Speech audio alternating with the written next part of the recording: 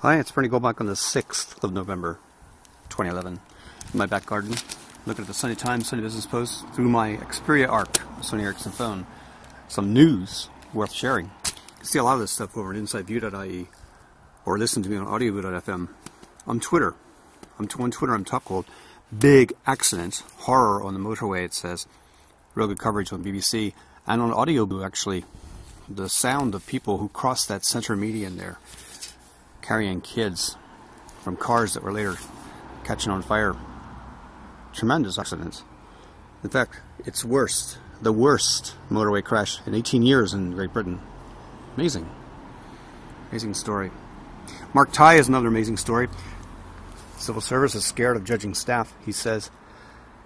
Really easy in the civil service to um, get that number three, meaning you're going to be promoted, or number two, get a salary increment of 3000 a year. And in case you don't read between the lines here, what that front page story is saying is civil servants continue to get salary increments, or semi-state people do. Not hard to find. Sounds like it's something from Mark Tighe or Frank Fitzgibbon if you're listening to this. Just have a look at what's happening in Irish Rail. Increments continue. Update uh, up to 2,000 teachers are going to face the axe, though. 2.2 billion euro cuts ahead. Stephen O'Brien has a front page story in the Sunday Times pointing out the government is planning to slice 2,000 uh, teachers from the primary and secondary school teacher um, rosters. And then there's other cuts in capital spending. Metro Dart, Dart Underground are going to be torched as well. They won't go ahead for at least three years. Those construction budgets. Hmm. And inside the paper, loitering within tents. Finally, full page coverage of this. Uh, that's Occupy Dame Street. Uh, on Flickr.com photos for Irish guys, I got some pictures of it as well. Justine McCarthy does the story. People are making a stand not only in Dame Street, but in places like Cork, Waterford, Galway, Belfast, and camps are around the world. People just want to, they want some action. They don't have any solutions, but it is a, a big citizen movement.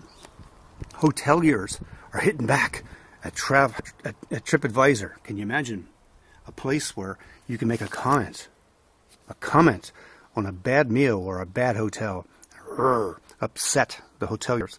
Can you imagine if you're a prominent blogger and you do the same thing? The power of 140 characters on Twitter could bring down an entire booking for a hotel as well, couldn't it? Oust the Trojan horse to save the rest of Europe, says the editorial pages of the Sunday Times. The big deal is this. Reality says, brutal reality says, that the basic euro has to change form. So says the editorial staff. If you live in where I am, you might spot tractors on the road. You probably won't spot Shane. Or Sean O'Brien driving his tractor. He took a professional rugby uh, contract and immediately bought a tractor. Look at his arms. His mom says he got that strength by delivering calves as a young boy. That would do it, wouldn't it? Inside, a full page article in the Sunday Times uh, by Christina Lamb from Washington, pointing out that Geronimo, that key term for bin Laden and his death, is uh, a subject of a book called SEAL Target Geronimo, to be published in the U.S. this week. He uses some of the tactics that I would have used in my days flying these guys to their destination. Interesting read. I'm going to read it. But also listen to this story, front page story of the Sunday Business Post between uh, pictures of Brian Cowen, Mary Hanafin, the RTÉ documentary tomorrow night shows the real story behind the infamous bank guarantee of 2008. I remember that bank guarantee. I said the same thing to Ruth in the car that, geez, there might not be any money left. The ATMs, we don't get Europe to give the money. They needed some instant action. A lot of the ministers felt they were bullied into action, and that'll be part of the story. It actually might trickle on over to the new business posts online. Um, interesting stuff going on there. Redesigned um, paper when you're viewing it on an Android phone or an iPhone or an iPad. Um, inside the paper, I'll deal with it more. But welcome, Adrian Weckler, to the iPad Nation. And uh, the way they're doing it, though, they're using HTML5, and this is a bit of a this is a bit of a misstatement. Download the app. Download the app to your mobile device. No, you're just basically putting a, a, widget on your home screen.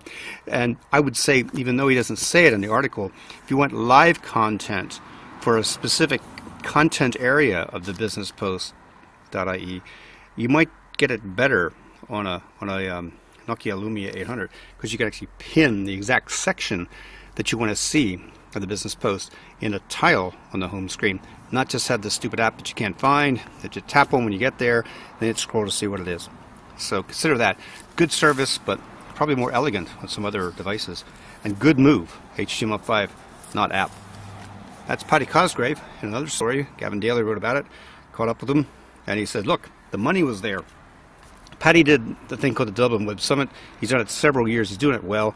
He's getting founders, promoters, uh, first-time movers, high potential people to show up, and the networking is pretty awesome. I didn't make it to this year's Dublin Web Summit because of commitments in other parts of the world. Cork-based entrepreneur named Sean O'Sullivan is listed also in a story by Gavin. He gave $5 million to the Khan Academy. Cool. Nice move. Good service. 26,000 subjects that you can study there in the Khan Academy. Um, good ideas. Really good ideas. McWilliams continues his good ideas about economic chaos, basically saying Europe, with all the debt, cannot work. You can't go to work, actually. You can't shunt the debt of some people to others indefinitely. Right. He's got a good point there. A really good point on how we have to try to move forward with something other than just stupid bank guarantees. Move forward with innovation like this. So I'm curious, will the Sunday Business Post app, or not app, will the Sunday Business Post push part of their content towards the Kindle, the king of um, e-books, e-readers. Um, I really like my Kindle, and I got stories about stories that I'm reading in it, like I'm following annotations in it.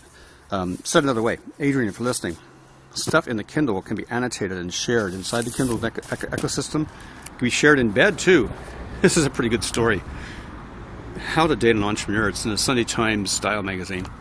Uh, manage expectations in the bedroom. Forget about luxury lifestyle. Hey, the rest of these things, you could just read the bio of Steve Jobs, the authorized edition, the exclusive biography. this is Jobs, the entrepreneur, and what he put his uh, girlfriends and wife through. And finally, Shoreditch. This is a story in the Sunday Times magazine about the buzz people are feeling around Shoreditch. People here feel that they can change things. Rapidly evolving technology scene in London. I went to Shoreditch, and I'll tell you, the conversation around the pubs, the tapas bars are really, really good. Out front of my house. My dig's underway put some trace heating in place, and uh, that's important. You can follow me at www.insideview.ie about what's going to happen there or catch up with the photos as my DIY projects continues on flickr.com stroke photos stroke Irish eyes. It's Bernie Goldbach, top gold on Twitter, saying thanks for listening and bye for now.